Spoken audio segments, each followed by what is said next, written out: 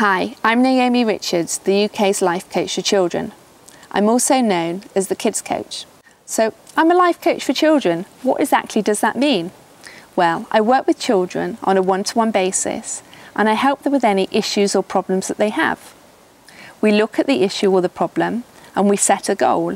What does that child want to achieve? How can, I, how can they make themselves happier? How can I help them make them be happier? And then we look at ways and solutions of how they can reach that goal.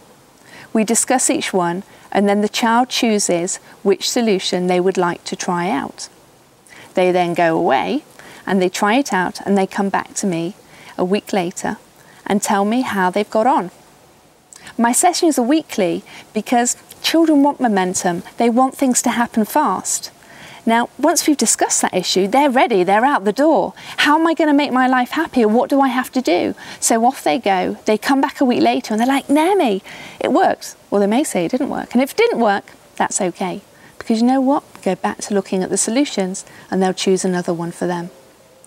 But what is so great about them choosing the solution and them actually going to implement it? We need to empower children and children need to take responsibility for their lives and see that actually they can make positive change.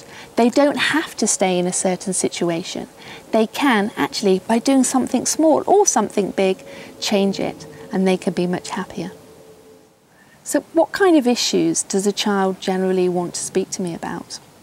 Well, there's friendships. A lot of children have friendship issues. They don't feel so great about themselves, possibly have low self esteem negative beliefs, negative thoughts, motivation, cooperation, confidence, really any issue that's going to affect them.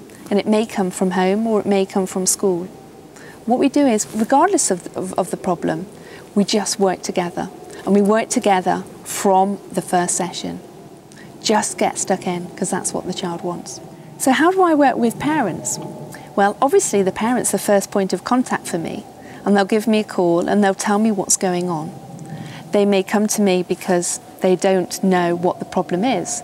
They know there is a change of behaviour from their child, but they just the child will just not open up to them. They may contact me because their child needs to learn valuable life skills and they don't know how to pass those on to them.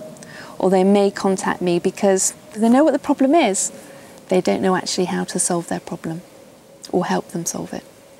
So if you'd like to work with me and you think your child will benefit from life coaching, then please do email me. My email and my phone number are all on my website. So have a look under the Contact Me section and you'll find all my details there.